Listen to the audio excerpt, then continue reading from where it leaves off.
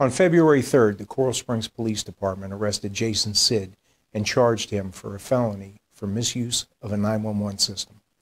911, what is your emergency? Hello, um, I'm calling because I see like weird, suspicious activities at a gas station. Like, On January 27th, 2022, Jason Sid directed an accomplice to make a 911 call to report fictitious activity. During that call, they told the 911 operator that they observed a subject going in and out of an orange Mercedes Benz. The activity they described was consistent with narcotic sales. Jason Sid sat in the orange Mercedes Benz as the fictitious 911 call was being made on the occupants of the orange Mercedes Benz that they were sitting in. This was all part of a recorded prank that Jason Sid entitled Coke Prank on Aggressive Cops. We in the most hottest area right now, bro. Look how quick they pull up. There it is. Got your camera? Got the camera? How you doing, officer? Is there a problem? I don't know. Is there a problem? What's going on, Nah, officer? we're good. You guys, what are you guys doing here? We're just chilling. We just we just got camera. Uh, We're just chilling. We're hanging out. just just chilling. You're chilling and hanging out at a gas station. Nah, we just pulled. We literally just pulled out to grab something. We live around here, bro. Jason Sid did this in the hopes of showing how overly aggressive police officers are when they respond to these calls.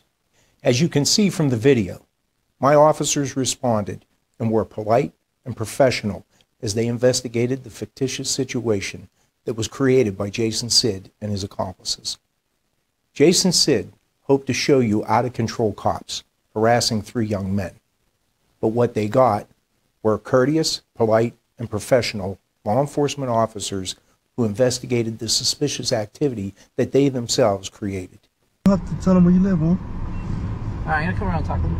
You don't have to. No, you don't have to tell them where you live, bro. All right, You don't so have. where do you live? don't have to give them your ID. But uh, we we got stuff in the car, bro. You got stuff in the car. No, why would?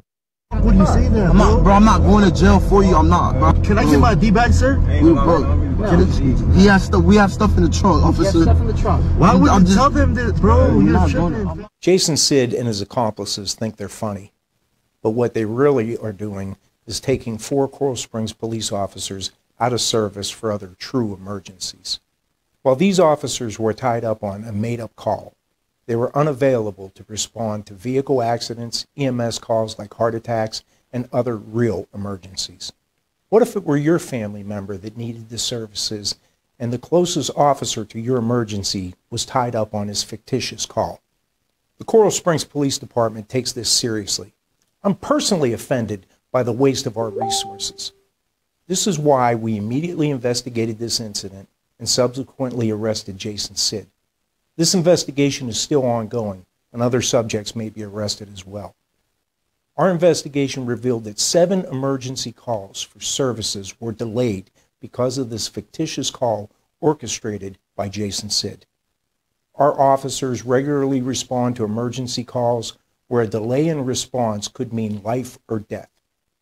Last year, members of my department received 27 life saving awards responding to true emergencies and providing emergency first aid and CPR. Over the last few years, we've all seen how noncompliance with the police have led to deadly outcomes for officers and citizens alike. Do you have ID on you? That's what we're asking. We're not. Take your hat off your head. Jason Sid and his accomplices are glorifying noncompliance in an attempt to show you aggressive cops for his video. This type of behavior isn't funny, and it can lead to serious injury and death. Haven't we learned anything? You must comply with the lawful orders of police officers who are lawfully investigating suspicious incidents and or criminal activity. This is a dangerous prank that could have led to deadly consequences. This prank by Jason Sid and his accomplices is no laughing matter.